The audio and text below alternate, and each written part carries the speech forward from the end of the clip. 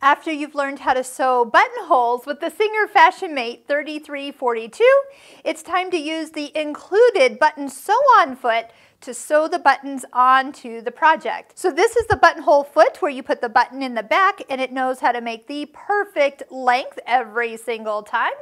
We are going to take the presser foot off the blue little toes are the grippers for uh, holding the button in place. And we need a zigzag stitch for this particular concept.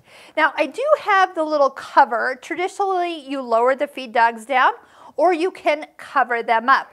For a little bit of ease, I'm going to show you how I'm going to just take the stitch length and turn it to zero. So those feed dogs will still touch the underneath part of my fabric, but they'll only be doing this instead of trying to move my button through, which is what I don't want at all.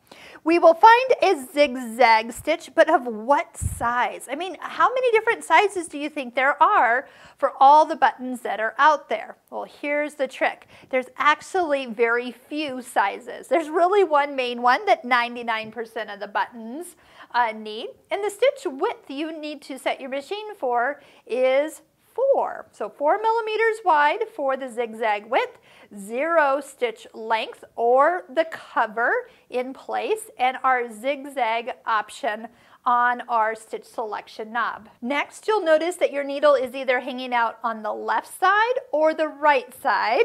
And uh, right now, it's for me, it's on the left. So we're gonna position the needle to come down in a left hole. So I haven't lowered the presser foot yet, but I'm going to drop my needle down into one of the button eyes and then lower the presser foot down.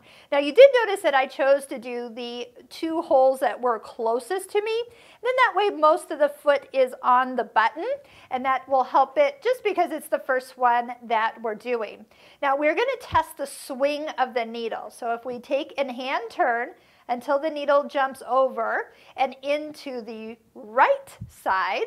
And if I've cleared and not hit anything, I can step on the foot control and I'm looking to stitch about eight, nine stitches or so.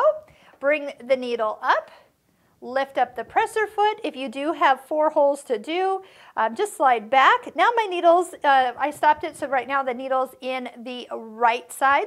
So I'm to line that up with the one of the right eyes. And then uh, turn a full revolution and make sure you're clear and stitch a few more times.